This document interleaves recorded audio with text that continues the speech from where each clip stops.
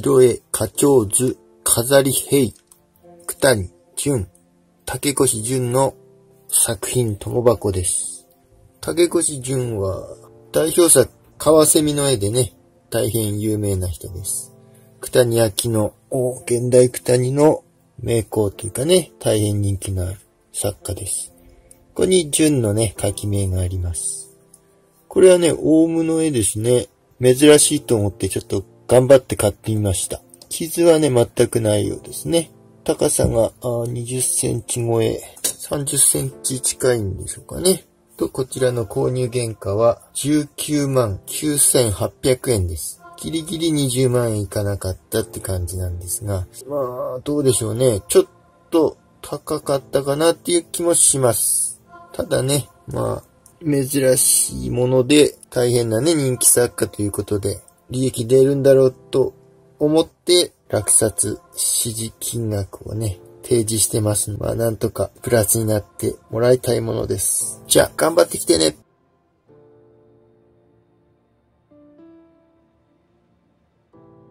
夏季、名、金、プラチナゾーンベネチアレース、夢降臨、花ロマン、黒木、国明作。画像でもわかると思いますが、大変美しいガラス牡蠣です。傷をつけちゃうか多少心配あるんで、あまり触りたくないんですけども、とりあえず一回り。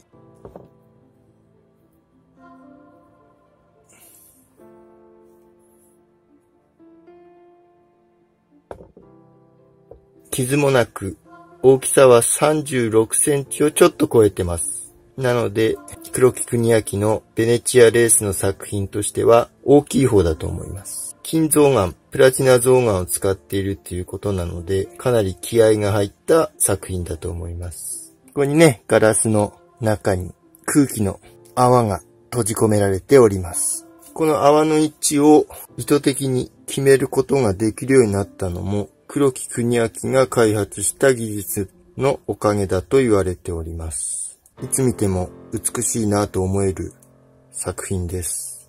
こちらの購入原価は42万円です。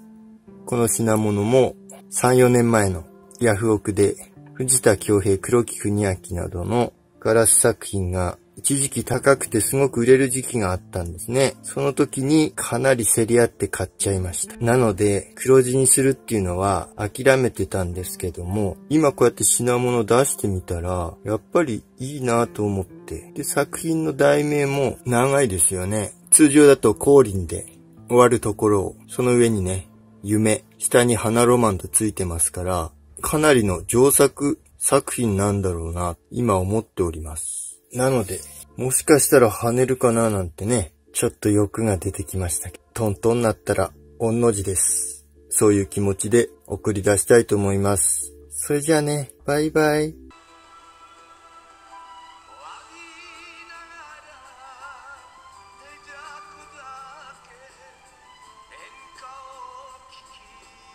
Bye.